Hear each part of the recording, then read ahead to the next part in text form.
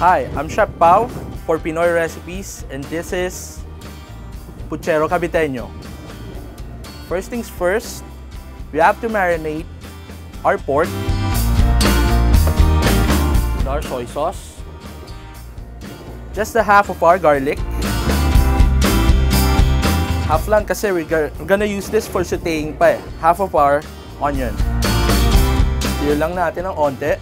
Actually, this dish is a very traditional Caviteño dish na makikita mo lang sa mga piyesta. Pag stir in na natin, we're gonna start to saute our vegetables. We start with our oil. Just make sure na mainit yung pan. Para pag hit ng oil, mainit na rin yung oil. The reason for this is para smooth yung pagsusutay natin. We're gonna start with our onion. All of our onion in there. Yun yung hinihintay nating sound, yung sizzling. Means we're sauteing well. Yung onion dapat translucent. Medyo translucent na yung onions. Gonna put our garlic, the rest of our garlic, pag translucent na lahat. And that's the time we're gonna add our tomato paste. Reminder lang about tomato paste kasi kailangan natin talaga siyang lutuin. Yung pagkakamali kasi ng iba, they don't cook the tomato paste. They just add it.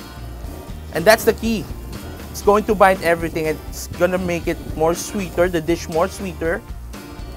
And everything so binded with just the right amount of acidity and sweetness. Pag medyo naging dark red na yung oil natin, it means our tomato paste is cooked. That's the right time to saute our pork. Ika nga is sangkot siya natin. Don't worry kung napasama yung marinade. It's okay, we're gonna add it anyways later. Pag medyo nag-brown na yung pork natin, that's the time we're gonna add our lemon soda. After an hour, let's check it. Mmm, smells good. As you can see, everything is reduced down. Medyo sticky na siya. Compare kanina na talagang soupy. Kailangan ganito yung maging outcome. Siguro, we're gonna season it with a little bit of pepper. And at the end, we're gonna add bell peppers just for the topping.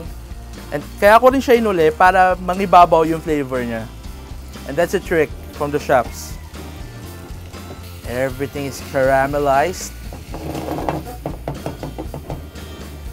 Best part, it's time to plate.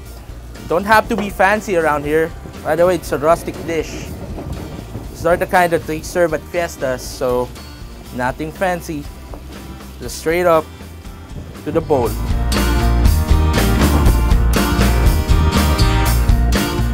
Here's our finished product. The long lost Puchero Caviteño.